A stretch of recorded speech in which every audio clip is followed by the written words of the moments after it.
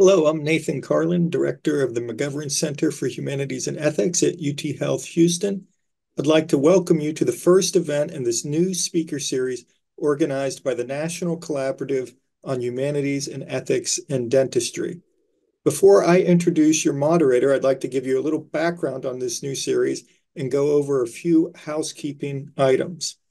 The National Collaborative on Humanities and Ethics in Dentistry is a partnership among three universities the CU Center for Bioethics and Humanities at the University of Colorado Anschutz Medical Campus, the McGovern Center for Humanities and Ethics at McGovern Medical School, and the Department of Health, Humanities, and Bioethics at the University of Rochester Medical Center and the Eastman Institute for Oral Health, both at the University of Rochester School of Den Medicine and Dentistry. This new series aims to create unique and valuable opportunities for reflection, learning, and teaching on humanities and ethics issues in dentistry and to stimulate progress nationwide in using arts and humanities to improve dental practice, research, policy, and education. Some of our primary goals are noted in the chat. We plan to host several events each semester and I welcome each of you to share your ideas for future topics in the post-event survey. Our next event will be a Zoom discussion on dentists and film on April 29th with the film critic and author Howie Movshovitz. This program is being recorded and will be sent to the RSVPs as well as posted on the CU Center for Bioethics and Humanities website in the chat within five business days. If you have questions for the panelists at any time, feel free to use the chat as we will open to the audience later for discussion. I'd like to thank all of you for coming today and the planning committee. The acknowledgements also are in the chat. With that, I'll turn it over to my colleague, Dr. Joelle Robertson Preidler, Assistant Professor in the McGovern Center for Humanities and Ethics.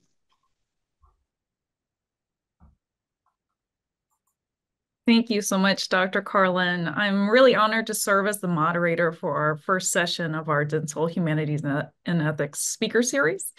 And I am speaking to you from Houston, Texas, where it is a beautiful day, chilly for us, about 50 degrees. And I want to wish everyone who celebrates today a happy Mardi Gras. And mostly, I'm really excited to introduce our amazing speaker today, Dr. Marcia Brennan, who has such a rich uh, expertise and experience in both humanities and arts. And I'm so excited to uh, hear about her insight into these oral issues at the end of life.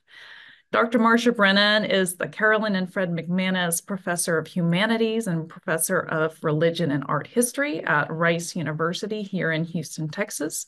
She is the winner of the Georgia O'Keeffe Museum Research Center Book Prize and has served as a fellow at Rice's Center for Teaching Excellence. Her research engages clinical aesthetics and the medical humanities, spirituality and comparative mysticism, and modern art and museum studies. And since 2009, she has also served as artist in residence in the Department of Palliative Medicine at the MD Anderson Cancer Center here in Houston, Texas. Um, for her uh, full bio and uh, information about her um, book titles and awards. Um, we'd like to drop in the chat um, a link to, to a website if you're interested. Um, and without further ado, I will give you Dr. Marcia Brennan. Thank you so much for being with us today. Thank you. Thank you. That's so lovely. Um, I just want to begin by thanking everyone who's organized this, everyone who's on the call. I am so honored to be here. Um, a little bit more specifically, I'd like to thank Dr. Nathan Carlin for this lovely, lovely invitation to come speak with you. And of course, to Dr. Joelle Robertson Preidler for coordinating so many details and elements of the talk. Um, this idea for a dental humanities and ethics consortium is just wonderful. It's just a great idea. I am truly honored to be the first speaker, and I just wish your group much success with this venture. Um, so just to say, I see that we have like 108 participants and counting, which is fabulous. Um, there were several questions um, who uh, that came up. This is wonderful. Thank you so much, David. There were several um, questions that came up prior to the talk, um, and so the way that I would like to work this, and that my team, the team has agreed to this, is um, I'm going to give this paper and then there are very strong you know emotional or intellectual or ethical or psychodynamic concerns and issues that could come up based on the paper that none of you have heard me present yet. So what i'm going to do is i want to and i've purposely left open some space um, for um, discussion and conversation in response to this paper after just to allow some conversation. And so this may run later because i intend to stay on this zoom and to answer every question that came in. Um, and so for those who have not been able to um, attend live, your questions will be answered on Zoom. So if you have responses to, or questions that come up to what you're hearing, please put them in the chat. Joelle will moderate this, but maybe we can have some conversation before I take the, the questions that came in. Okay. And then my very last thing that I'll say is that I'm going to be talking about a lot of very sensitive material. Some of you may want to get a Kleenex or a tissue in hand just in case. Better to have it and not need it than to need it and not have it. Okay, so with that, thank you for my slides. Um, I'm going to begin today by briefly introducing myself and describing the clinical work that I do. And then, of course, I'm going to take you into the hospital rooms with me, the best part, of course, always, and present the uh, three clinical case studies each of which engages important issues relating to the mouth and to related issues of taste, voice, speech, power, and the uniqueness of human identity. At the end, I'll answer any questions that you have. Um, I will stay on longer to answer those that have come in. Um, and I'm hoping that we can have a lively conversation about the themes and issues that the stories raise. Okay, so with that, I'd like the next slide, please. Okay, so let me just provide a little bit of background and context for this work who am I and what do I do in just a teeny little bit more depth. By training, I'm a modernist art historian. Okay, so in my day job, yes, I am a professor of the humanities at Rice University, and I do work in the fields of modern and contemporary art history, religious studies, and medical humanities. Since early 2009, I can't believe it's about to be 15 years, it has also been my privilege to serve as a literary artist in residence in the Department of Palliative Care and Rehabilitation Medicine at the University of Texas MD Anderson Cancer Center.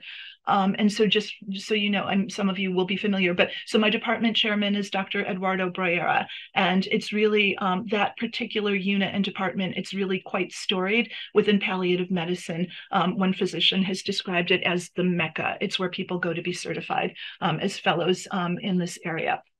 Okay, so on top of that, since early February of 2021, I've also been doing this work remotely on both the general oncology and the stem cell transplantation units at the Hospital of the University of Pennsylvania. Um, and so you can see here some images of the various contexts in which I work. Um, and so, of course, on top is Rice, and then you've got Anderson on the left, you've got Penn on the right. What's interesting about this is that literally, uh, so there's a foot here in palliative, there's a foot here in essentially a very aggressive form of oncology where people are fighting for their lives. They've looked at the end of life and they are undergoing all kinds of aggressive transplantation therapies. Um, within these oncology um, practices and then on top rice as well and then the idea of how the university as an academic center may triangulate facilitate um, you know and engage such affiliations um, just a few more little brief preliminary remarks. What led me to do this work? So I'll just say that as an art historian, I am privileged to see and work honestly with some of the most beautiful things in the world. Literally, I get to work with Rembrandts and Van Goghs, with Monets and Georgia O'Keeffe's. Yet several years ago, I'd reached a point in my life and career where I wanted to see if the skills and the tools of the arts and the humanities could translate into some of the darkest and most difficult areas of modern life, not always just the most beautiful ones. So I am happy to tell you that yes, they can. Um, and you'll see in this talk some of the ways in which those translations um, are possible. Also, for background purposes, I'll just say at the outset um, that for the past 15 years, I have literally worked with thousands of people and I have witnessed hundreds of passings. Okay, so there's simply just a base of um, experience in that viewing and in that presence. And so, there too, you are welcome to ask me anything um, about this um, in the question and answer period. Okay, next slide, please, David. Thank you. Okay, so what exactly do I do in these rooms? Um, let me tell you what I do not do.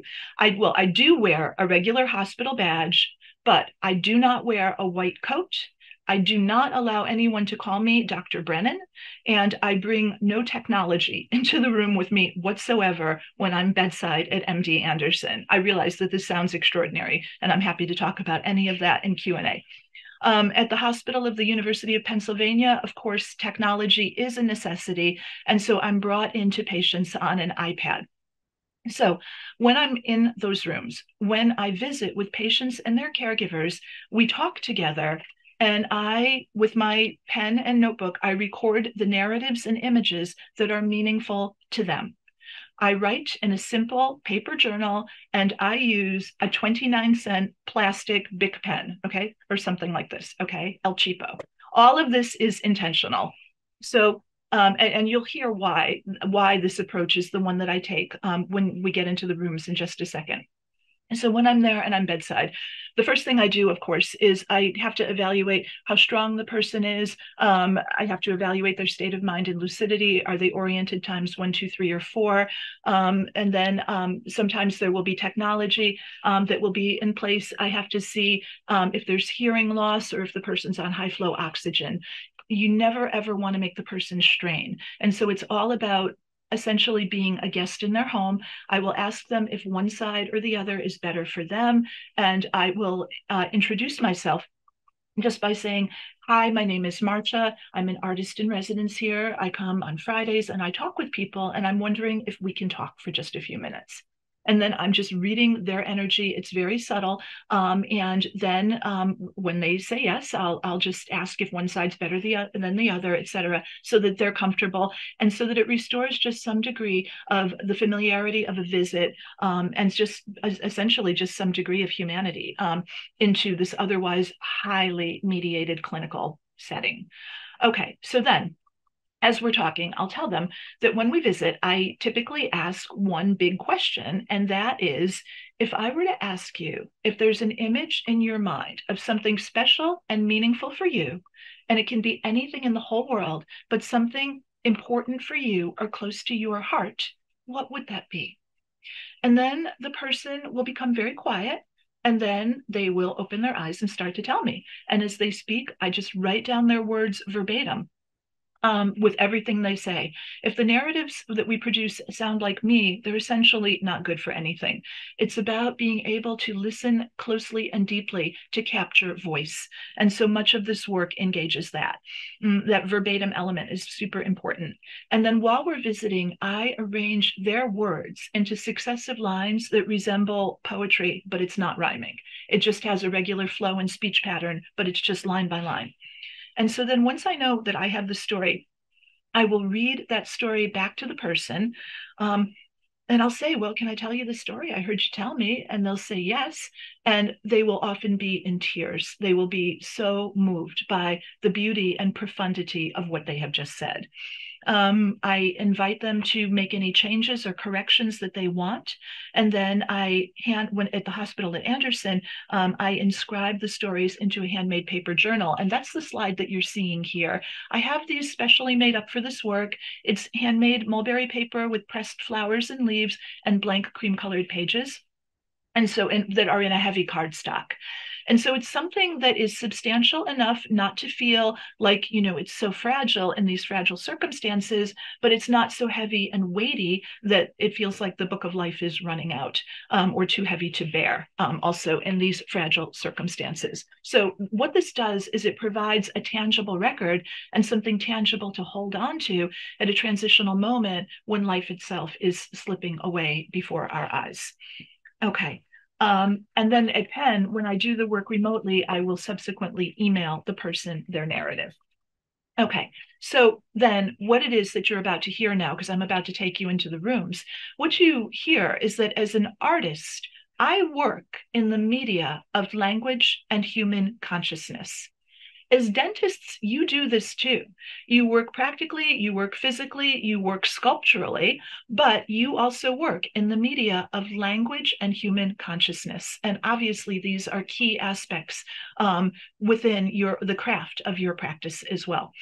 Um, so, as you're going to hear in these stories, issues of voice, identity, appearance, communication, and the ability to speak and express oneself are all integral to this work just as they are absolutely integral to the work that all of you do as well. So, again, having at end of life, this becomes particularly sensitive because this has everything to do with how people are seen and heard in life and at the end of life. So, within these challenging settings, I found that it's necessary to acknowledge what's there and then to hold space for other visions and possibilities to emerge. Within this practice, the patients and their caregivers provide the content of the stories, while I provide the practical means for the artwork's realization. So much of my work, and really um, to put a technically to put a fine point on it, it's positioned at the um, intersection of literary aesthetics and psychosocial oncology. I'll repeat that. The work that I do, technically, I would say, is positioned at that intersection of literary aesthetics and psychosocial oncology another way of expressing that idea is that I, you know, help to create the conditions for expression and hold space for people so that they can be present to themselves and to others when facing extremely challenging illnesses and life at the end of life. When I ask people about the images that are significant for them, they're able to witness their own beauty and that sense of conscious recognition often serves as a transformational element, which you will now see as I take you into the hospital rooms with me. So, with that, can I have the next slide, please? Yeah, okay. So, our first story, yes, this was intentional. Our first story is called Everything Comes Alive with Cherry Pie. So, I'll bet you were all wondering about that title. And yes, as dentists, I did want to get your attention, and I thought that that might do it. Okay, so this story comes um, from my work at the Hospital of the University of Pennsylvania.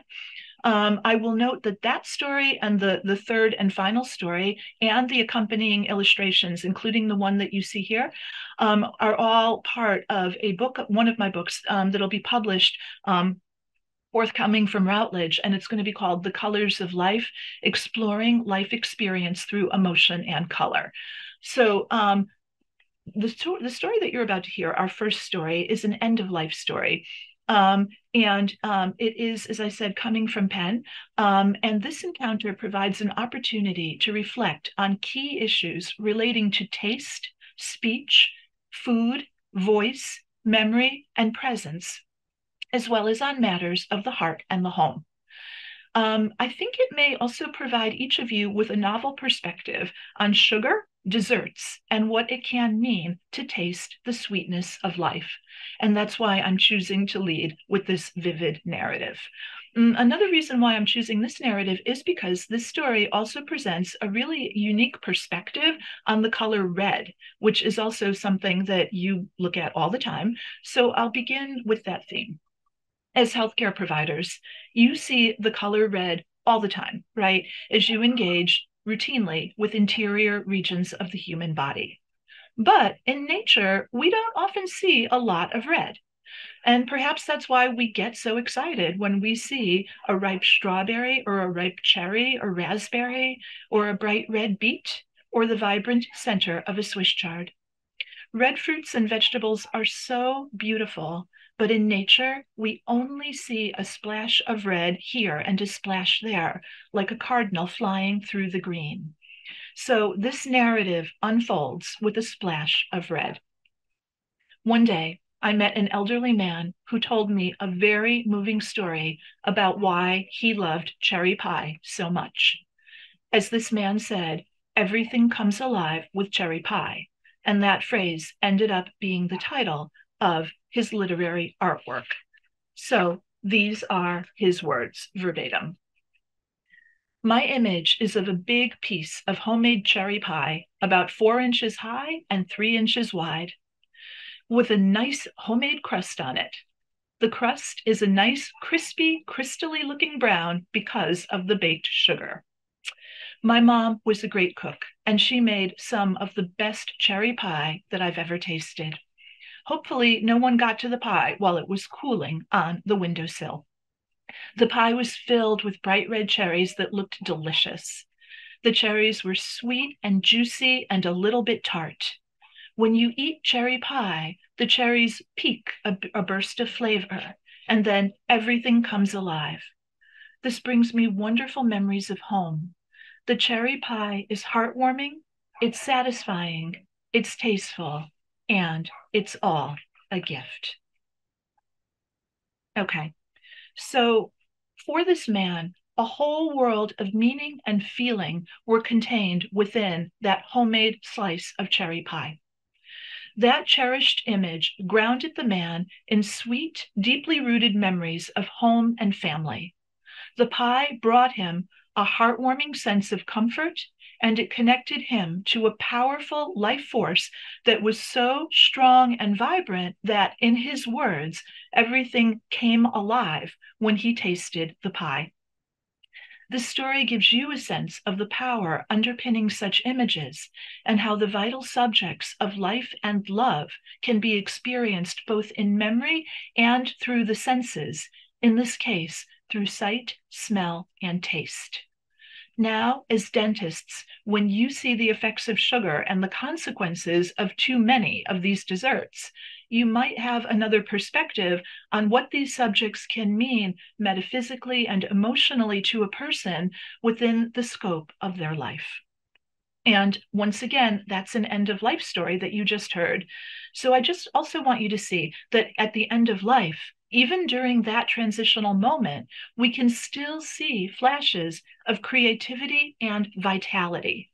Red is the color of the vitality of life. Like a baked cherry pie cooling on the windowsill, the color red is often associated with the inside of things rather than with the outside of things. So that story provides a glimpse into the inner world of a man's life and heart and his memories of being deeply loved, all of which came back to him with vivid clarity at the end of his life.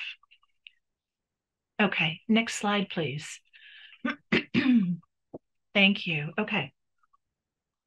Story number two, very different story, is called I Am a Warrior, Red Like the Heart and Autumn Gold. and so, yeah, it does also center a bit on the color red. This is a very different story, though, and it engages critical ethical issues, excuse me, concerning agency and power, voice and choice. This story is coming to you from the Acute Intensive Palliative Care Inpatient Unit at MD Anderson. And I'm going to be very precise technically about this case. The patient was a middle aged man suffering from advanced adenoidic cystic carcinoma of the nasopharynx. He told me um, about this, and the medical team told me about this, and they told me that for many years, this man was a chain smoker and that he also used both chewing tobacco and snuff. On the day that I met him, the entire right side of this man's face and jaw were swollen and disfigured, with dark tumors protruding out from underneath the skin. Before I entered the room, the medical team had informed me that there were some strong emotional and communication difficulties associated with this particular individual. And yes, this was indeed the case from a combined physical, emotional, and psychosocial perspective. Um, here, I'll just note that every time I enter a patient's room, I remain open to whatever arises. So sometimes that involves listening really closely and acknowledging what is not working well. And sometimes that type of deep listening proves to be extremely powerful, and this was certainly the case on that occasion. Although the man was very weak and drowsy, he was eager to work together to produce an artwork that would make his complex spiritual imagery concrete, both to himself and to those around him. Perhaps most strikingly, despite the extreme pain and disfigurement of his advanced metastatic cancer, this man continued to see and describe himself as a warrior. As he proudly told me, that's my spirit. That's my way. His story is entitled Red Like the Heart and Autumn Gold. These are his words I am a warrior. It's in my heart. I'm a big game hunter. I hunt deer in the woods by my home. That's my spirit. That's my way. I also gather food and grow vegetables. There's Thanksgiving and the family table. That's what it's all about. I'm hunting now. I'm with Sitting Bull and the Warriors. I'm also Roman Catholic, and I can put them all together now. They're all connected. Now I see them all as one way of knowing. I'm not afraid of death, and it's upon me. I'm at peace with myself. We all hunt and track together as one. It's in my heart. I am a warrior. So when I had read those words back aloud to the man after the team had been having so much communication difficulty with him, when he heard his words and I read them back aloud, the man surprised me a little bit because he was frail, but he thumped his chest very hard, like thump, you could hear it. And then he proclaimed that that was what was in his heart. With tears in his eyes, he told me that he wanted the narrative artwork to be featured at his memorial ceremony. Um, so, with his permission, I subsequently published um, this story in one of my books on life at the end of life. And I commissioned an accompanying illustration for that from the West Coast visual artist Lynn Smallwood. And that's the image that you see here. So, the image reflects the man's story. Um, this is a pencil drawing that connects multiple layers of personal and archetypal imagery to create a scene that is at once vividly concrete and deeply metaphorical and metaphysical. In this illustration, the forest becomes a world of symbols and forms, shadows and reflections. Throughout the surface of the drawing, alternating patterns of darks and lights create a strong sense of design, while contrasting elements provide the primary structuring forms of the composition. Following the interior pathway of the image, the strong vertical lines of the tree trunks cast long diagonal shadows along the forest floor. The tall trees frame the composition while creating a sense of interior depth that extends into the distance and culminates in a clearing that is filled with light. Along this pathway, a few stark tree limbs and stray rays of light connect the two sides of the drawing, just as they crisscross the circular entrance of the aperture. A Native American figure walks along the forest path, while a short distance away, a deer pauses at the opening and turns to face him.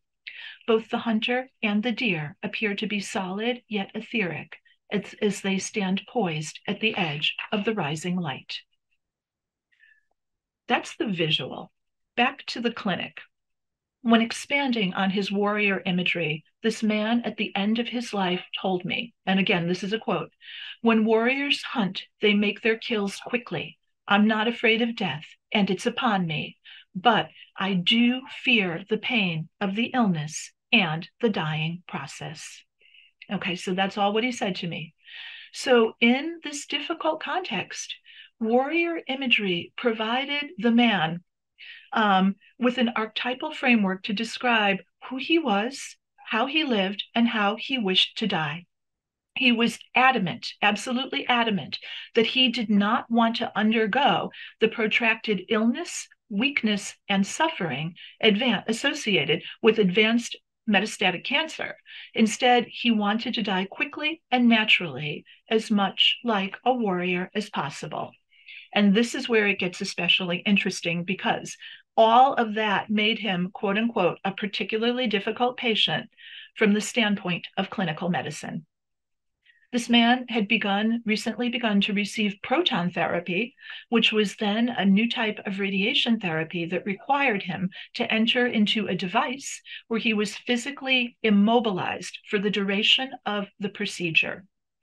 He had already received one such treatment, and the experience had generated so much anxiety and distress that the session had to be discontinued. While this new therapy could potentially have extended his life by several months, it would have been necessary for him to undergo several additional rounds of treatment, and he absolutely did not want to do that. Instead, he wanted to die quickly, and he asked the medical team to facilitate his passing. Okay. So that was the situation that I stepped into that day when I came on the unit at Anderson. Um, initially, some of the healthcare providers, after I walked out of the room and had the narrative, some of my colleagues and healthcare providers saw the man's response as his quote, quote unquote, refusing therapy and wanting to die end quote. Um, that situation um, created a great deal of distress, both for the team and for the patient and his family, um, some of whom saw it as a form of prematurely giving up. Even after my visit, some people dismissed the artistic imagery as a type of escapism. And one healthcare provider commented that they found it odd that this man preferred such hunting imagery to the real world. However, that thankfully was not the majority voice on this. Others very quickly recognized that the man was making a larger statement concerning his priorities regarding autonomy and quality of life, and they realized that warrior imagery provided valuable insight into his perspective, as well as a common vocabulary for discussing what was vividly real and important to him. In very practical terms, there was now concrete imagery that opened up a new avenue of communication regarding quality of life issues and the options that were available to this man and his family. Ultimately, the entire team played an important role in this man's care, and he was able to return home and spend the last month of his life in his house by the woods. Shortly after leaving the hospital, the family sent a photo of the man sitting in his beloved garden, admiring his plants and smiling. So, in such extremely challenging circumstances, preserving the integrity of personal identity amidst the fragmentation and disfiguration of terminal illness itself can be seen as a kind of heroism. The warrior imagery provided this man with a powerful model of fighting for his right to live and die with some degree of autonomy and thus with dignity, just as it united his image of himself with that of divine presence. The story brought the man back to himself and created a template for his being in a state of integrity at the end of his life as the courage of the heart became vividly expressed in shades of red and autumn gold. Okay, so I want you to know I realize that this is a lot to take in and it's a lot to hear and process intellectually, emotionally, um, conceptually, philosophically, etc. So I have one more clinical story that I'm going to take you into and then I have some remarks um, kind of to conclude. And then I'm really hoping that we can have conversation around your thoughts about what you're hearing. Okay, so with that, um, the next slide, please.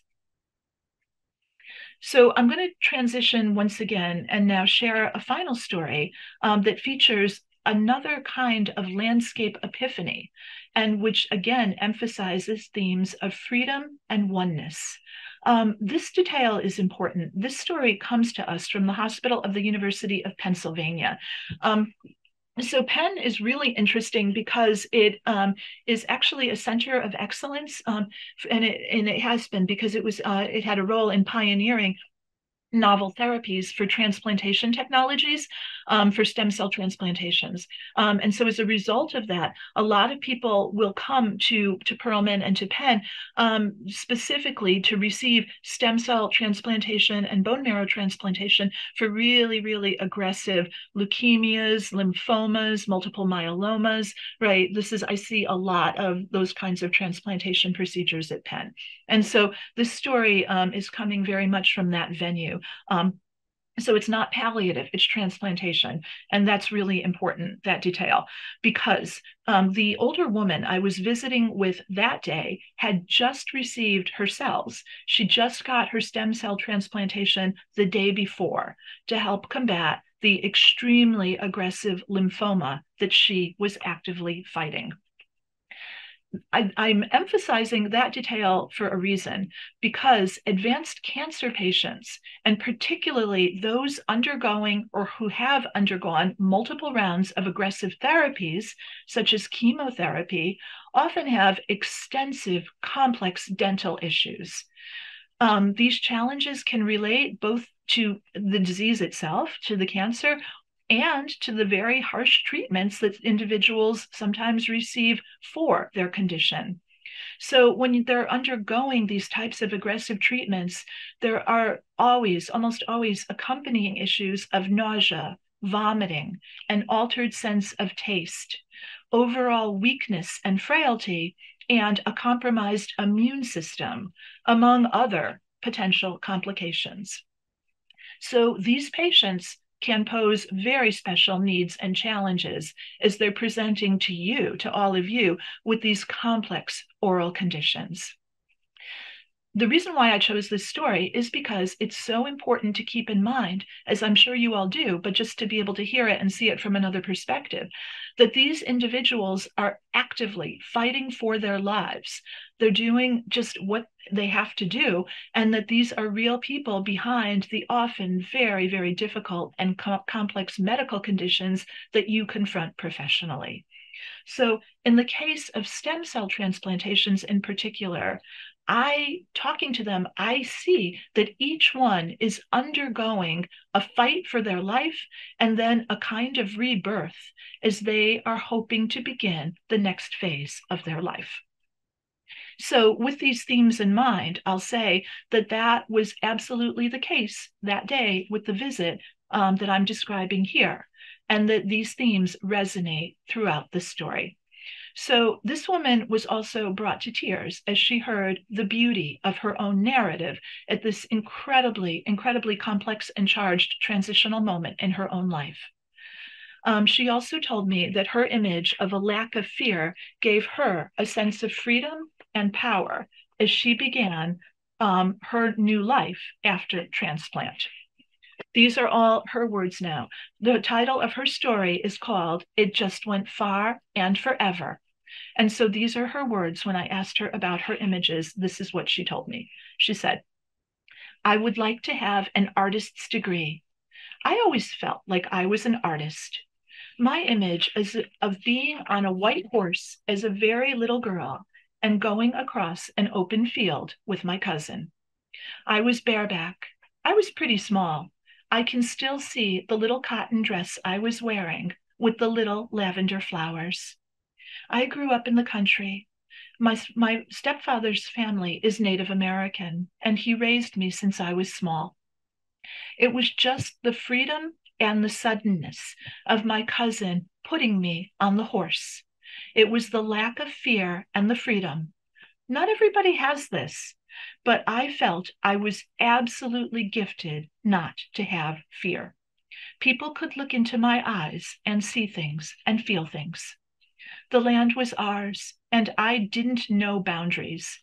It just went far and forever. It was a wide eyed moment. My cousin put me on that horse at full gallop, and I felt comfortable with it. I was about two years old. The earth was the connection. I could see the blue and the white of the sky, and the sky and the land merged together. There were no fences and no boundaries. It was just straight up energy. There was absolutely nothing in front of me but the grass and the world and God. It just went far and forever. Okay, next slide, please. Thank you all for hearing all of that. So, all of the stories that I've shared with you today share, shed important light on issues relating to the mouth, to voice, to taste, to appearance and identity, to the ability to express oneself and be heard, and ultimately to the humanity of the patients themselves. The first story engages images of food consumed both for nourishment and for pleasure.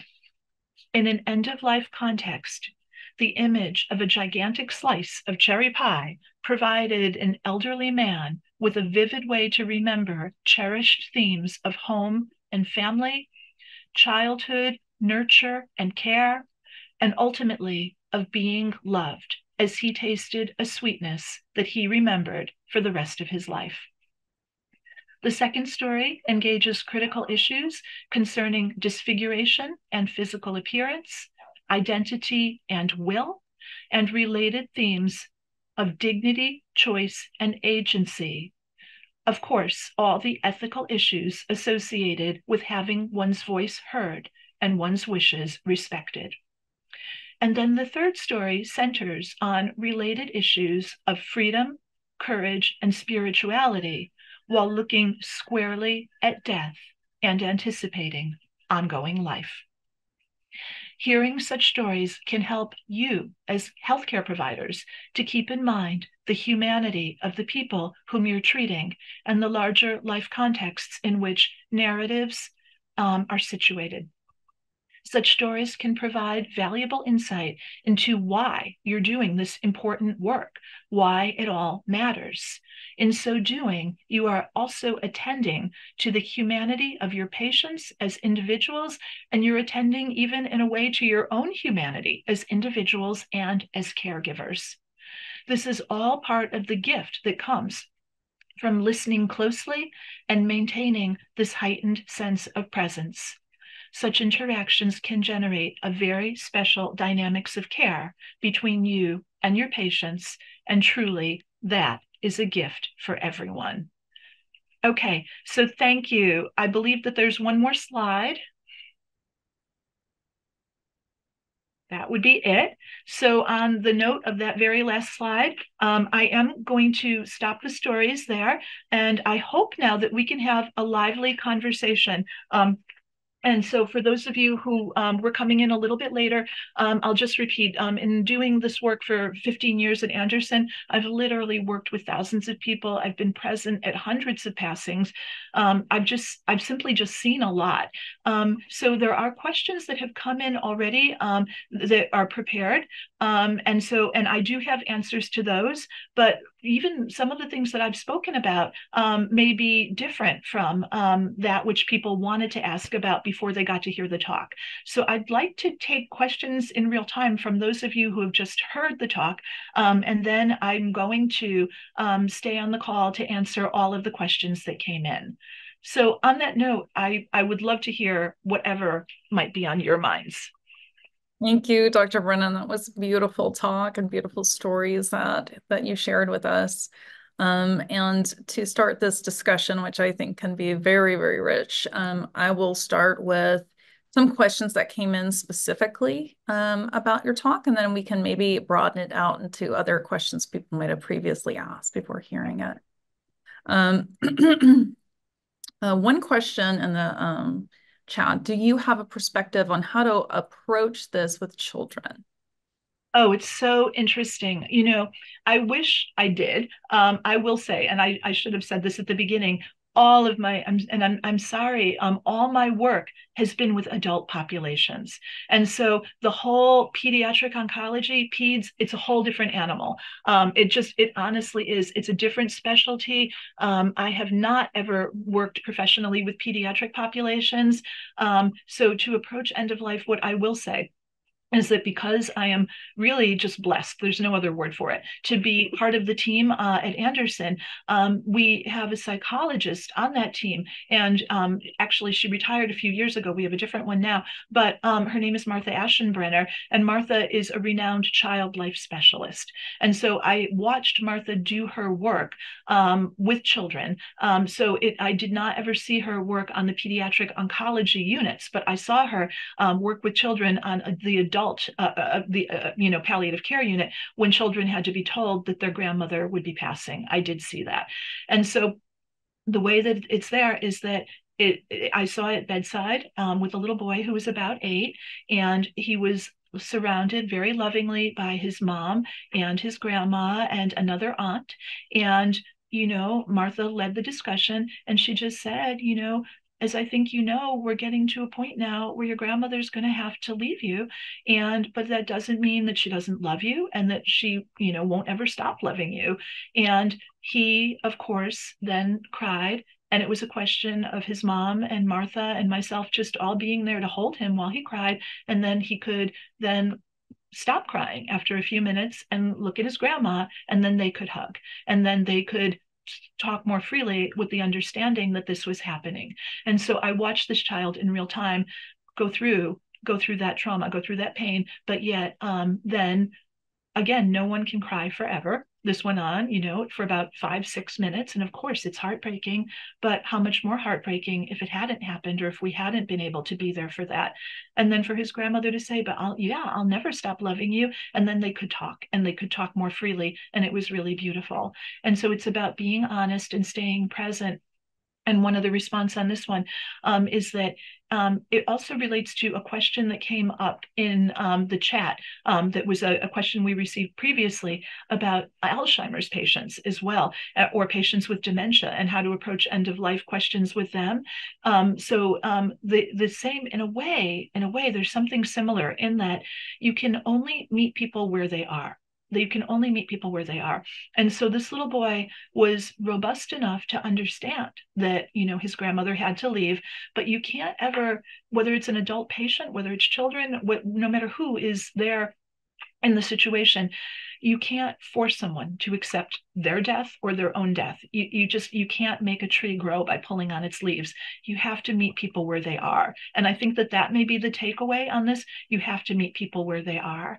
And so no, while I've not worked with pediatric oncology patients, I have worked with children within these complicated circumstances, and I have had the privilege of being present and meeting people where they are. So I hope that begins that that's the, the best answer I can give. Yeah, that's amazing. Thank you. There's two more questions that kind of relate um, yeah. about how you kind of um, start working with people. So how are individuals approached to agree to participate? Um, are people willing to share? And uh, have you ever had the uh, occasion where patients are reluctant to work with you? Great questions. Thank you. Thank you for that. Yeah. And so remember at the beginning how I said, and I understand that this sounds and looks eccentric, but I don't let people call me Dr. Brennan. I don't wear the white coat, but I do wear the badge. So it's clearly, you know, that I do have some credentials and like I should be there. But um, I honestly try to do this as gently, you know, um, and as much just like visiting, like like uh, just a nice visit. Um, before I go onto the unit, before I go onto the rooms, I always seek out the charge nurse. And I'm always like, because there's only so many people I can see on a particular day since I'm literally going between three institutions, right? And so um, I it's all about for me, who's in the most emotional suffering? I have to triage it that way, not who has the best story, not necessarily who's got the most grandchildren and wants to say something, although, of course, I'm interested in hearing that too, but it's really who's in the most pain. Um, and then are they oriented times one, two, three, four? Um, very often I will go in while the person is actively dying and the family is in deep grieving and pain. And so it's really all about um, prioritizing emotional suffering. Um, and then when I go in, um, I'm going in with that knowledge. And I I just literally just say, I'm Marcia, I'm an artist in residence. I come on Fridays. If it's an end of life situation and the person in the bed is active or on their way to being so, I will just see who is the person sitting closest to the bed or who is the most senior person in the room. And I will go to them first as kind of a way to honor and note their presence. And I'll just say, Is that your husband? And then I'll just say, Okay, so I've just got one question for you. Can you tell me something wonderful, absolutely wonderful about your husband? And they will almost always say yes. Um, sometimes I've sat in the room even with the body after the person has passed, and people are are crying and mourning. Um, I've been there at the moment of. It's so gentle, but it's very rare that people are not able to be there, uh, that are not able to at least have something. And then it's all about reading the energies so gently. You you know you never ever want to impose something you can't and shouldn't you know make people do something that they are unwilling or unable to do. So it's about just creating a little bit of breathing space to honor and allow something to come forth. So i do very little setup. If i did this whole asking permission or ahead of time or any of this stuff people would get so caught up in the protocol and the analytical protocol of it and they might be intimidated or afraid i'm not artistic. Oh no i'm not going to be asking you to draw anything. It has to be within the, the gentleness and spontaneity of the moment it.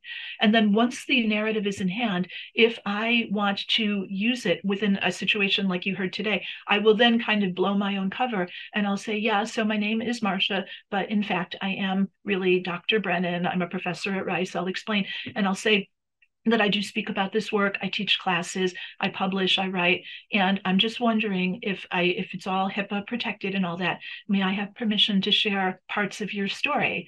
And people there's only once in 15 years when people said no. It's really extraordinary. People love the idea that in some way what they're going through can be of help and service to others and that there's a legacy there um, because they're your teachers. They are your teachers more than I'm your teacher. Um, so that is all kind of on how you do it. You just, you have to assess the situation. After just doing it, you all know, you all know it's all about experience, reading subtle energies, how nervous is the person, um, how, what, how much energy do they have, what state are they in? What might be the best way to approach them? Um, and so it's just, you know, tailoring that to the situation and being present. Um, then as far as people declining yeah there are some people who will just say you know, I'm just not in that place. And it can be because they recognize how powerful this may be and they're not willing to go there. And I'll just say, okay, I'm just so glad I got to meet you and offer you the question. Thank you. And then I just leave very delicately. The thing about this, there's no ego in any of this. Whatever comes forth, it can only be perfect the an opportunity um, you know was made to to do this work to, and the it was offered. The offering was created. So after that it's not up to me to control that outcome. I'm literally just there as a servant. And so whatever comes forth it can only be perfect. And so that's the kind of light touch i think that that is part of what makes this work. Joelle did that answer the question? I think so. Yeah that was that was helpful. Um is it is this right that it's not really the patients knowing about this and asking for it, but it's really a referral from the nursing staff, the charge nurse who know the patient situation the nurses are just the best. I realize I'm speaking to a room full of doctors, but I'm sorry. The nurses, they know. I mean, the doctors are amazing too, but the bedside nursing team are the ones who know exactly what's going on. And even between them, they're like, yeah, like she's really suffering, but that guy's even suffering more. And so, like, they'll be generous, right? And it is very much a team. And so, yeah, um, occasionally I do get referrals. I get referrals from the attending physician or from the department head, like, oh, we've got a family and 47, boy, could they use you. And so, yeah, of course, I will prioritize those referrals. So I will get them via email before I go onto the unit, um, and then I'll go there first. Um, but then beyond that, it is a, a, the charge nurse and then the attending bedside nurses. That's how, yeah, that's exactly how it is. Thank you. Mm-hmm. Um, I think you partially answered this question, um, but Dr. Carlin was asking if you could talk a little bit about the ethics of telling patient stories, um, especially at the end of life, and what is required of us beyond compliance, and maybe further adding like how how can you really honor these these people and their stories. So um I yeah, I'm happy to answer that. So again, like I am very forthcoming a lot most of the stories right are very personal and so they have to do with family. When i ask people about the images that are closest to their heart you know half the time if not more it'll be oh my family. It'll be a portrait of my family altogether in which case i'll be like okay how many people are in your family? And then i'll start typically with the spouse and then i'll say i'll ask for each person's name and i'll be like well can you tell me something wonderful about that person? So with those stories they're entirely personal and they um, stay entirely with the family. So whole corpus of stories that are even beyond, even well beyond um, what um, are, are, anything that should ever that will never leave the room. It's really for those families. Um, and but um, for those who um, the stories that I tell, it's because there's a larger generalizable point that lends itself to um, HIPAA compliance. And in those cases, I explain very clearly, you know, who I am, and um and exactly you know it's so interesting. The people in the bed they they get it immediately. Like they don't need any advanced instruction as to why healthcare providers need to see patients as human beings, and particularly why cancer patients and people at the end of life should be seen as human beings. Like they're on it, they totally. And so they're like, absolutely go ahead. People are almost always adamant and honored about, you know, here about having the stories shared. And they're just, they're happy to do that. Um, if there were even any kind of like hesitancy, I'd be like, no, no, thank you so much. This should stay with you. So again, it's really about being sensitive to the subtle energy reading it closely. Um, and just doing what is right. And then the other thing that I'll say um, in response to Nate's point, it's so interesting. There's a palliative medicine physician named Dr. Michael Ashby, A-S-H-B-Y, and he writes about the literature on the end of life. And one of the points that he makes that's so true is that very often it's the patient's voice that's that's seldom heard or let alone honored. And so, like, why do we not have this kind of corpus of end of life stories? There's really not a precedent for this. The closest thing which is really something quite different, is narrative medicine. So Dr. Rita Charon, C-H-A-R-O-N at Columbia Presbyterian and Columbia School of Medicine has pioneered narrative medicine, but that is quote unquote honoring the stories of illness. That's the subtitle of her book. And so these are uh, working with patients, encouraging them to be writing about their illnesses and the illness experience. And these stories are called pathographies, right? Literally the narratives or writings of illness. The stories I've shared with you are not pathographies. These are coming from that context of um, oncology and end of life, but you know, they're not really stories about cancer per se or that experience. Very rarely do people speak about that. Instead, they're speaking about life and about what's vibrant and meaningful for them. So I think in having these stories heard um, in forums like this and in other educational forums, um, it is part of bringing to light something that is almost still, in a lot of ways, undiscussable in our culture, or that our culture struggles with discussing. Death and dying remain the capital fear of many, if not most people, right? And so to understand that that is a phase of life that can and probably should be integrated within the broader scope of what it means to live and to be alive, and that this is one moment within a spectrum and a continuum, and that there can be incredible beauty, creativity, life, and humanity up to and including at the end of life. And I, I will argue strongly, Nate, that there is not necessarily a sharp distinction between ethics and aesthetics. And I know you would agree with this. And um, if you want to jump in and speak about that, that would be interesting. But that ethics and aesthetics are indeed coextensive tro- propositions. That would be the line that I would take on that one. Yeah. Thank you. Um, here's another interesting question. Um, since this work seems so important, and you're talking about the fact that we don't have enough of these stories in the patient's perspective, uh, do you consider your work as a therapeutic intervention that could or has been quantified? Uh, for example, in terms of quality of life, end of life choices. Um, and also, um, this the person who asked this question said that thank you for this presentation. It's very beautiful. Thank you. Okay, so first of all, thank you for that question. I love that question. And here's why. Here's why. This has to do with the two cultures. Um, and exactly one of the places where the arts and the humanities, seemingly on one side, and STEM and medicine on the other side, have different methodological structures and features. And perhaps this is something that we can continue to think about together. So, First of all, no, this is not therapy. This is absolutely not a therapeutic practice because when you have a therapy, you have a protocol, you have outcomes, you have quantifiable metrics and measures with which to out, you know, with which to, with which to measure and evaluate and assess this. This is artist in residence. So it's an intervention. It's a, it's a creative intervention. And so the, the light part of that, the good part of that, is that without the protocol, it means you don't necessarily have restrictions. You don't have to abide by this or that. You don't have to color in the lines and stay in certain boxes. I mean, obviously, there are just basic ethical protocols that are, you know, that you would follow within any healthcare um, situation. But I have tremendous freedom, as does the person. And so that with that freedom comes the expansiveness and vision and voice and creativity. It's almost a kind of radical freedom and privilege um, to go wherever things need to go, especially at end of life. Um, the downside to that is that no, um, I do not have a quantifiable way. I have, I, I, there's just not been. Um, it would be you know about what um, uh, having questionnaires you know scales one to five what is your level of pain you taking blood pressure etc and then before and after how would one begin to assess this? And then the reason one of the reasons why i have resisted this is because the minute that you have those kinds of quantitative metrics that then can buttress and provide a framework for something like arguing for therapeutic practice, the minute you do that, these people become human research subjects. You are now into, um, you know, HRS protocols. And when I'm artist in residence, they are not human research subjects. It's not human subjects research. They're human beings in a bed as just, and I'm a human being who's coming in to visit them. And so this has to do even with the humanity of the people and the ways uh, of the people themselves and the ways in which the very cultures of clinical practice and um, therapy well, it's interesting. It's interesting about what constitutes a therapy and who gets to say, thank you, Dr. Goldberg, what constitutes a therapy and who gets to say.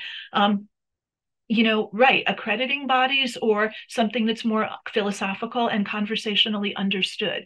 But I do not use that term because I am not a therapist. I'm not, you know, I do, I'm not credentialed as a therapist, but I don't want to be. This is not art therapy. Um, this is artist in residence. And so it's about a humanistic aesthetic, philosophical, creative intervention within these clinical spaces. But it's yeah, it, it's complicated. It's so that's a conversation I'm interested in having with any and all of you online offline whatever that's a great question it's a it's a complicated methodologically procedurally complicated fabulous question too much to say Thank you, Dr. Brennan. We are at time, so if you need to leave, you can, but Dr. Brennan is very generous and has offered to answer any questions that uh, people continue to have, and we do have a few more in the chat here. Um, Dr. Ray asks, do you have any concerns or devote any special attention to telling stories from people who are part of marginalized demographics? Oh. Uh, for example, oh. ability, class, race, LGBTQ status, etc. This is, again, a beautiful question. I love this question. Absolutely. Um, there too, um, it's so interesting because you are threading a needle. On the one hand, if somebody, you know, if this is an important part of someone's life and they're telling it as part of their story and they want that to be heard, they want that to be heard, you know, and so it's it's only if um, I'm completely convinced that the person is, you know, absolutely lucid and and um, essentially um, has that kind of agency, capacity, competency um, and wants that to be told, then I'm delighted to share those aspects of their identity. Very often, it's interesting, their own, mm, you know, race and class backgrounds very much play important roles in their stories. They are absolutely core to the identity um, of the person and to then what they love and honor in life and then at the end of life. So, absolutely, those themes come out um, in the ways that the people express them. And I am always very honored and very clear about that when I am bedside about the ways in which these very rich and complex themes are emerging. Um, the one kind of well, the, one of the the major um, concerns that I just always have is if someone had been closeted or private about something, it is absolutely not my place to out them to anyone at the end of their life. And so there too, um, you know, it's just really stepping very carefully to just create the best outcome for all involved. But yes, all of these differentials are are so important, and they are part of the the deep fabric of absolutely individuality, life story, history, and identity. Absolutely there to be honored. Yeah. Thank you. And we have another question. Um, I think that would especially be relevant in a big city like Houston. Yeah. Um, do you uh, work with interpreters in this work? This is such a great question. You guys, these are great questions. I love these questions. Thank you. Um, so, very interesting. Be- okay, because it's Anderson, right? Um, there have been three primary language groups where this has come up. Um, it's so interesting. Of course, Spanish um, would be one, Arabic would be another, and then sometimes Chinese, um, Mandarin Chinese would be the third. Um, and so, um, it just it just depends. I have worked with hospital interpreter. I've never worked with the technology. I've never spoken to the computer, you know, where it like does some kind of automated or AI simultaneous translate. No, I've never done that. Okay, so that's a no. But I have worked with yeah i've worked with translators and all from all three. And what i will say is that while they're they're good from what i could tell from all of this the very best translator you always look for like a 14 year old child. And i know that you're all laughing as you're hearing me say this the you know 12 13 14 15 what's great about those kids is that they are the ones who can just sort of like go back and forth really easily. Um, they're part of the family but they're also not going to necessarily finesse something or filter you know they're just going to like blurt it out like you know as pretty much as candidly as they can. And i'm like oh that's that's interesting you know? And so you always i always look for somebody who's in the family and in the room or a friend of the family who's there and happy to translate. And so i would much rather work with those translators right um, the natural translators than with the hospital translators. Um, and there too when that happens when you're working with a family member or someone in the room as translator then they themselves are an integral part of the visit. When you're working with a hospital translator the temptation is that you're addressing eye contact to that translator rather than to the person in the bed. It's as though you're speaking to the translator, not to the patient or their family. When it's, you know, again, that like 14 year old child, you know, you're when you're speaking to that child, you're also speaking to the person in the bed because it's literally a circuit that's facilitated and can be closed so much more quickly and easily. Um, and so I'm always looking for that. And in those cases, um, again, it does change and it, in a way, it sweetens the texture of those visits as well. Um, and so those are always the best um, translators I have found. Thank you. That's beautiful. And it, it, seems to also draw that distinction between these therapeutic interventions where you have to have a direct translation versus um, a translator that might be more true to the patient and even just better word choice like a word choice that might not uh, you know necessarily appear or, or be obvious clinically but that somebody on the inside will know right away what that is yeah Thank you. Um, so I think we've uh, answered, or you've answered the questions people had about the the talk um, specifically, but we ha did have some questions people sent us before. Oh, wait, Joelle, um, I think one just came in really just like a second ago. Oh, you're right. Uh, thank you so much for saying that. Uh, in sitting with your clients and listening to their reflections on their life, how often do themes of regret emerge amongst the review of other life events? Thank you for a wonderful presentation. Thank you so much. Again, I, these are great, great questions. So first of all, they're not my clients, and this is another way. So you guys, I'll just say these are my. This is one of my cats. So I mean, you're probably wondering. So like again, this is like maybe a, here yeah so this is nicholas and if if there's a good opportunity he's a tuxedo cat. I'll give i'll if there's a good opportunity i will put nick um, so he can get full credit for everything um, so they're not clients and i i do all this work pro bono. I, that's another thing i should mention. Um, i am technically part of the md anderson work group workforce work group. I am badged within the system but i don't accept any money for this either at penn or at anderson. So they're not clients as much and there too so that there's a slightly different relationship on the pro bono component of this. Um, and so, yeah, on the regrets, you it's it goes back to what i said earlier you have to kind of meet people where they are. Um, and so with whatever comes up um, i want people to if you have the the feeling that it's a safe space and i'm happy to hear and to take in and honor whatever they have to say. And so sometimes it really does involve just listening and being present um, sometimes when people say things again especially if it's an end of life context to hear themselves say it it's almost like there there can be a cleaning up and a release of it because they're saying something that they may never have told somebody before or that they may understand and when they hear it out of their own mouth they may understand it a little bit differently. It may feel differently to them as they hear it um, and understand it that way. So i am there for whatever needs to come forth and when it is about regret or anything that's poignant or sad um, it's not only about honoring what's there. If there's an opportunity i'm always listening for it to see if there's not some little sparkle of gold that's amidst all of the dross and all right and, and all of the um, all of the soil there. If there's not some little sparkle there and then if there's a regret it's going to be because there was a desire often or that there was something you know that they had wished for. And then it can always be well tell me why that's special or important for you why is that close to your heart? And then finding some way to connect if, if possible some little fragment of it to something that they can hold on to that may have been overlooked otherwise. So it can it can work in multiple ways that way. It can work in multiple ways that way. Um, actually on that note uh, can i tell a quick adverse adverse incident story? Everybody's maybe wondering if i've ever had an adverse incident. So the one thing about end of life thankfully it doesn't happen that often but it can happen. People are sometimes just i want to just say they're not in a state to be present to themselves let alone present to anyone else. And so one time there was a room where a middle-aged woman was at the very end of her life and she was surrounded by her mother and two of her adult siblings. And you know, again, it's a terrible thing. To, I can imagine uh, to lose a child. It's got to be the worst thing that can happen to somebody, or one of the worst to lose a child. So when I went into the room, this mother, this woman's elderly mother, was in the chair closest by the door, and all I did was knock very gently, introduce myself the way that I always do, and this elderly woman got up out of her chair and physically lunged at me, and she said, "You make me sick. Get out of here as soon as possible."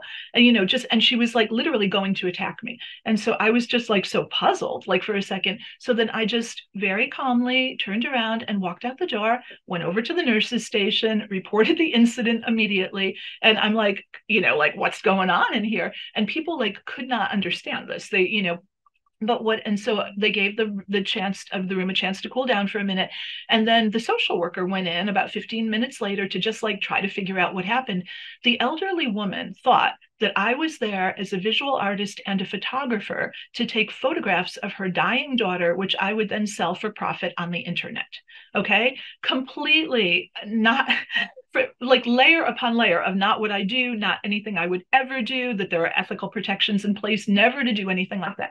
But the elderly mother just was so beside herself with grief that even as the social worker tried to explain no she's not this is she's not that kind of an artist this would never be the woman could not could not get over this notion in her head that that's who I was and what I was there for. So she was beside herself. So was that an quote unquote an adverse incident?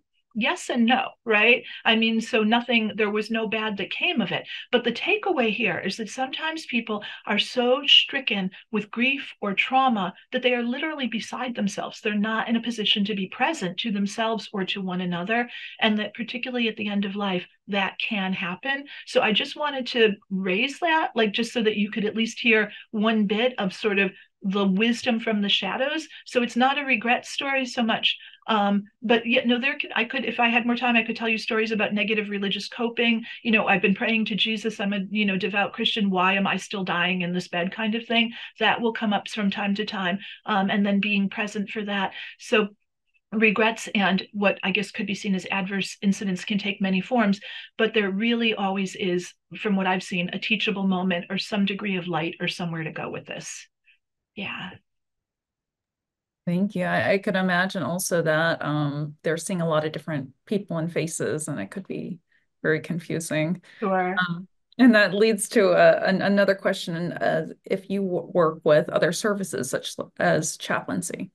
Yes. Okay. So chaplains are colleagues, um, and so um, I don't so the answer is yes i do work. We are all part of what's known as an interdisciplinary team the idt um, and so we're all colleagues. We all share you know stories case notes etc i don't go in with chaplains specifically um, like that where we go in together in tandem. But very often um, the chaplain will have preceded me and he or she will then tell me oh this family spirituality is very important to them. Um, and so then um, i will ask while we're doing the artwork is spirituality important to you? Oh oh good. Tell me what that looks like. And so that's all i ever say. And like then that creates the door is open for them to say anything that they want that might be useful to them. Um, and then sometimes when I go in, I will get a lot of intelligence about spirituality, which I will then share with the chaplain, you know, because it could be very useful, even actionable items or insight for the team or for the chaplain about different concerns. Um, there was one woman um, who was at the end of her life, but who was insisting that she wanted to have um, a shampoo and a bath. And like you know, how are you going to do? Like she's so frail, she can't get out of bed, etc. It turns out the reason why she wanted this was that she didn't want to die and go meet Jesus with dirty hair. Like that was literally the reason. But like no one knew why this was so important to her. But this came out, right? In my talking with her. Okay, so now that we know that, right, then we can find ways to work with PTOT. We can find ways to somehow accommodate some aspect of this so that that part of, you know, the metaphysical component there can be heard, documented, honored in some way. And then again, it's about identity, appearance, and sacrality. And, and it would create a better outcome at end of life for her and for everyone including for the team. And so not a frivolous request right? And so there you know how to work with the team how to work with the chaplains we all work together. And again i'm just so fortunate to work with the teams that i have. Very cool. And uh, just out of curiosity, is any of this charted in the medical chart or is that just through informal conversations? Um, so um, when I'm in the hot desk room, it's pretty much like just like the co- informal conversations there needs to be, and I don't know if there is going to be space in Epic to accommodate narratives, patient narratives, chats, etc. That's another thing. Um, the uh, EMR question, you know, as far as like what can and can't be accommodated within quote unquote the record, right? Within that's a great question, and then that may be another question beyond the scope of this um, of this session, but the technology and the EMR, and again, voice and how that can how that can and cannot be conveyed clinically. Yeah. Thank you. Mm-hmm. Um, another question has to do um, with dementia, actually. Um, someone asked, my mom is 91 with moderate dementia. How do I talk with her about death and dying? She doesn't accept that she has dementia and we want to honor her wishes. Of course. And so again, this um, I had made an overture to answering this with even the pediatric question as well. It's sort of like um, how does how you know you're all healthcare professionals. How do you assess capacity and competency? You have to meet people where they are and you can't with particularly with something as ultimate as the end of one's life some people cannot and will not accept that they are dying. They can be right on the edge of active and still not still not. You know i've seen people who are even into into that continuum actively fighting absolutely terrified and abs- and just fighting refusing to accept that they are indeed at the end of their life. Um, and so um, with impaired right with memory impairment um, or consciousness where there's not necessarily a channel of lucidity I, I don't know that you really can meaningfully have that conversation because is she capable of grasping the concept? Um, and what I would just say there is did conversations happen at a previous point regarding what it would mean to honor your wishes? And so, if so, I would look back at those previous conversations and then i would try to approach now with so how are you feeling? You know and if something happens like what might you want? And then just to see if there's any overlapping space between where the person is now versus what they had expressed previously about what it could mean to honor their wishes I guess what I will say again is that you really nothing can be forced conceptually or emotionally. You can't make people you can't make people accept this um, if they're not able or willing to. So to just know, just to, to be able to tell them that no matter what, you know, we love you and just that creating that sense of comfort and love and peacefulness and just humanity and reinforcing the humanity of it, that that will probably be the most powerful tool in the toolkit, I would think.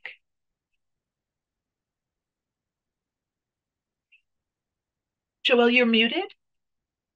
Thank you. There's another question about um, medical aid in dying statutes. What is your opinion about medical aid in dying, um, which has many uh, prerequisites? They are so restrictive as to seem discriminatory and therefore unconstitutional. They seem to violate equal protection rights and exclude, exclude those patients who are most likely interested in and need help in the dying process? This is such a great question. And again, you know, um, if I were teaching a seminar, we could devote an entire session to that question. Um, I would say that this issue is not only complicated legally and medically, that the question itself is cultural. It's a cultural question and a policy question. And so that's why of course, there's not one answer to this. That's why there's not a uniform federal policy on this. That different states have different um, have different procedures on this. Um, and and the so first of all, I guess with that having said that contextually, the bar is indeed high. The bar is indeed high on you know assisted um, medicalized euthanasia. Um, and assisted um, practices on this. And so that does, I mean, so the, the questioner that is is right that that does indeed reflect some of the discriminatory, you know, dimensions and elements of culture in general, where those with access to money and um, education are probably going to be able to access quality healthcare that will produce better outcomes and preserve more autonomy than might be there for those who are under resourced or disadvantaged populations.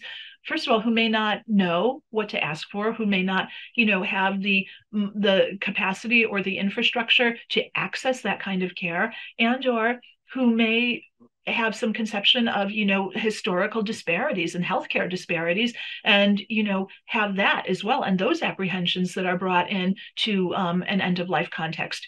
Part of what is so complicated and important about this question is an underlying idea that some lives are valued more than others, right? And so the idea of power and privilege and discrimination, you know, if people are well resourced um, and um, more powerful, right, their lives uh, seem to have more value because more capital is accorded to them and hence more privilege.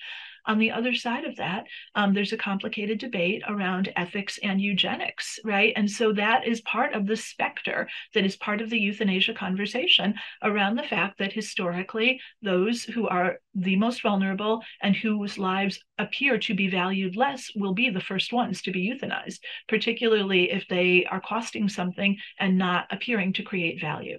And so the bar is also high for ethical and philosophical reasons that are historically, culturally, socially complex. Um, and so then we now sit at the intersection, this uncomfortable intersection of so many different um, dimensions of this question regarding what, uh, you know, what an appropriate response to accessing care might look like for incredibly vulnerable populations, right? And so there's not one answer on this, and the various kind of texture within policy, political, um, political will, cultural will, cultural capital, let alone economic will, medical practice, and legal practice. It's all so highly complicated and interwoven and frankly polarized as well, right? Um, that there's not one answer to that, nor is there an easy answer. And alas, that is very much the context in which we we live right now. Yeah. And then going from policy to practice, somebody um, talks about this uh, awful experience they had as a child. And I know you're not a dentist, but maybe you have some comments on this. Um, the questioner says, when I was a young child undergoing a filling, I remember the dentist putting his hand over my mouth and nose and essentially smothering me when I felt pain and started to cry. Years later in the OR helping with dental restoration anesthesia, I asked the dentist if I had experienced a bad dream. He confirmed that dentists formerly used a hand over mouth technique in pediatric dentistry. Um, and he asked, or he or she asked, is this really true? And when did this practice fall into favor? I am incredulous that this would ever be taught or even tolerated. Um, and I was wondering if you had any thoughts or comments uh, on that, even from maybe a non-dental angle about these kind of uh, yeah. older practices. Yeah, so okay, it's really interesting. Um, uh, so I, I'm, I'm I'm not a dentist. I do not know the historical information on this, and I don't know like what constitutes professional best practices in pediatric dentistry. So so at that part, I just am not in a position to answer. But here's what I will say: that clearly that is a trauma story and that the whole idea of suffocation amidst amidst the procedure itself right or that even that fear or, or sense of that then has to do with air, air hunger, restraint, all of these things um, that then become part of the psyche. And so, for the person who had that experience, um, I think that going back maybe and and talking with someone or working with someone to understand that that trauma can be very deep seated very deep seated to go back and work with that can be super helpful and important I think that um, it can also then one of the the gifts in a way of the of having experienced something like that is that that provider is going to have incredible sensitivity around those issues of breath, airway, you know, consent, gentleness, best practices, and that you know to even think about how did my own trauma um, experientially then create a kind of counterexample to the kind of care that i provide and deliver right now. And so to be thinking about like all that that that person is now bringing in in a very positive way um, I will also say that again, it's a story about breath. And while when I read that question, I was like, oh my gosh, um, it reminded me that when I was three years old, I was running in the kitchen and I caught the side of my eyebrow at the 90 degree angle of a sharp formica counterpart.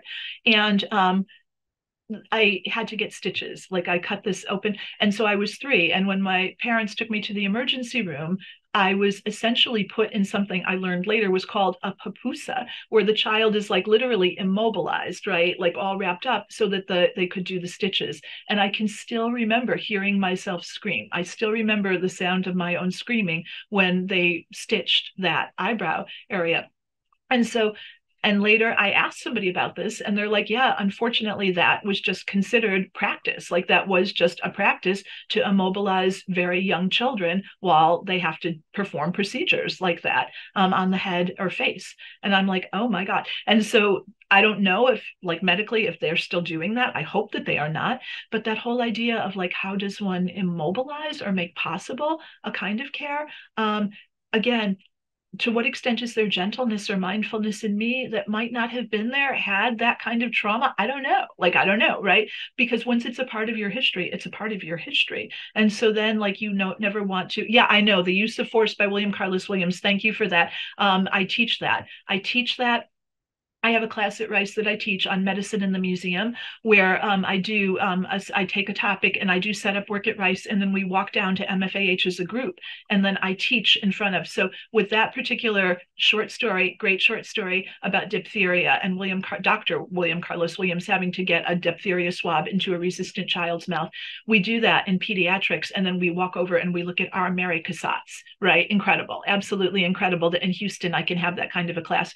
But yes, there's also also, I would pair that with another really interesting, you all probably know this, from Dr. Richard Selzer, S C L Z E R. He has a book called Brute, right? And it's autobiographical, where he's describing um, a, a, black man who was brought um, from by accompanied by the police, open gashes, head wound, and he had to stitch this man. This man was also on other drugs, etc., and he was violent. And Selzer describes the actual pleasure he took in immobilizing this man and doing the work like because they were the man was like you know sending curses and insults and all of that. But it was like literally this brute force against this brute force. And how with medicine you have the unfair advantage. I mean these people are vulnerable. You're going to win right in some way. So then what does it mean to have to both perform sublimated trauma as care providers or to have experienced sublimated trauma as patients? What does that do as far as creating again a complex psychodynamic situation in which you now operate as healthcare providers and in which you all live as human beings, right? These are complicated, difficult, layered, important conversations. Thank you. And I appreciate those um, reading suggestions. Uh, and that brings me to the last question about if you have any recommendations uh, for books to read that helps us get out of this reductionistic view of the human into something a little bit more fully orbed.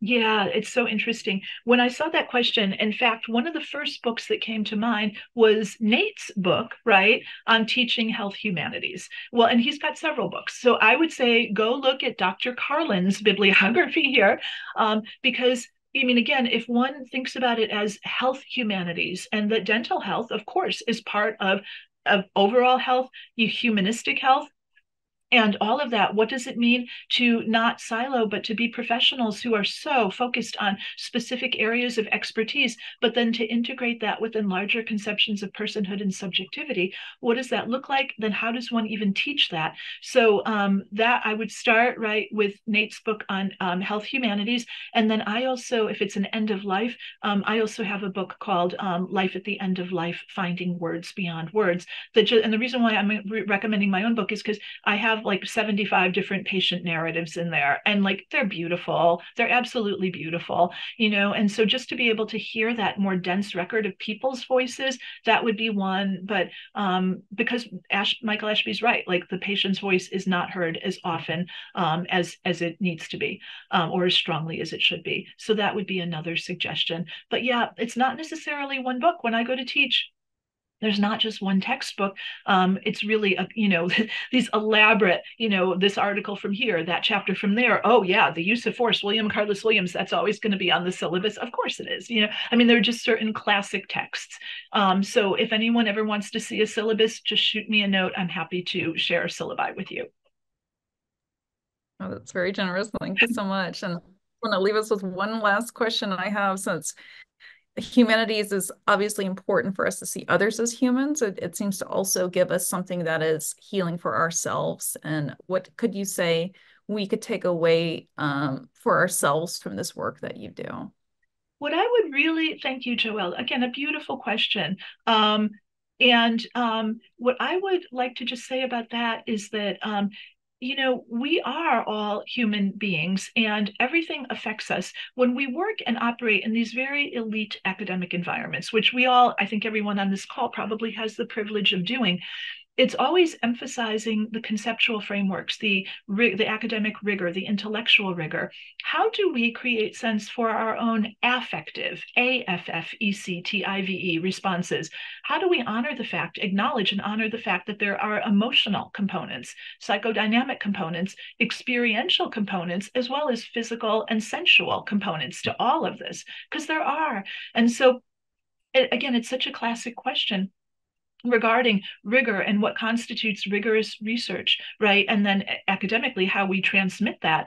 Um, how can we begin to open up space for the affective or emotional or aesthetic component that is necessarily going to inflect and color then our whole conceptions of ethics, epistemology, right, um, and metaphysics, all of these things. And so to to just really be open to your own hearts, um, to your own, you know, how does something feel to you? What does it feel like to be here? You're all working with subtle energy. Ever be, even before any of you touch teeth, touch a patient, touch a body, your voice, your own presence your kind of everything that you bring into that room is conveying messages and subtle energies that are going to have emotional responses in you and in your patients and in your families and your teams, your own healthcare teams. And so to be aware of that, to honor that, and to just create the best outcome for everyone. Um, and if something difficult comes up, to acknowledge what's there, to be present with it, and to always be looking for that glimmer, that glimmer of light, um, and to bring things to that higher place so yeah to create space for that effective component would be my yeah Dr. Marcia Brennan, thank you so much. This was thank a really you. beautiful session. Thank you for sharing these stories and for the very rich discussion and for taking so much extra time to make sure that everybody's question was answered. That's very, very meaningful. Thank you. Thank you so much. All right. Thank you, everyone who joined us today. We're so glad that you came to our first session, and we look forward to seeing you at our next session uh, coming up in a few months. Thank you very much. Bye, everyone.